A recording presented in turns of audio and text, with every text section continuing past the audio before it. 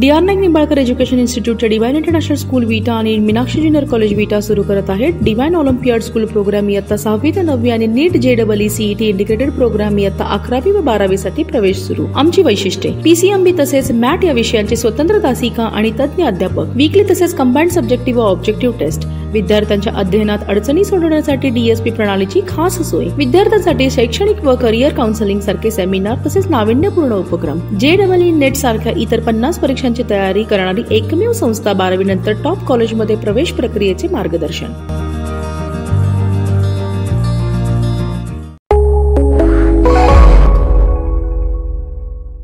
नमस्कार मी अरुण आणि आपण पाहत आहात सेव्हन स्टार न्यूज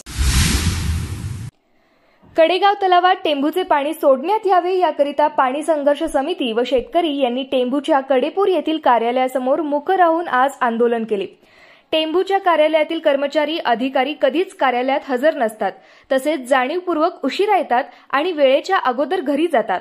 अधिकाऱ्यांनी किमान एकाने तरी कार्यालयात मुक्कामासाठी राहिले पाहिजे.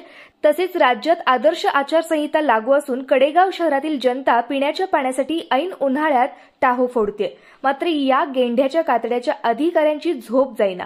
अशा विविध मागण्यांसाठी पाणी संघर्ष समितीचे डी एस देशमुख यांच्या नेतृत्वाखाली आज कडेपूर येथील जलसंपदा विभाग टेंबू उपसा जलसिंचन कार्यालयावर मुकमोर्चा काढण्यात आला. यावेळी ऐन कडक उन्हात सकाळी दहा ते दोन असा हा मुकमोर्चा काढण्यात आला. या मोर्चाच्या वेळी शेतकरी संतप्त अधिकाऱ्यांना चांगलेच फैलावर घेतले.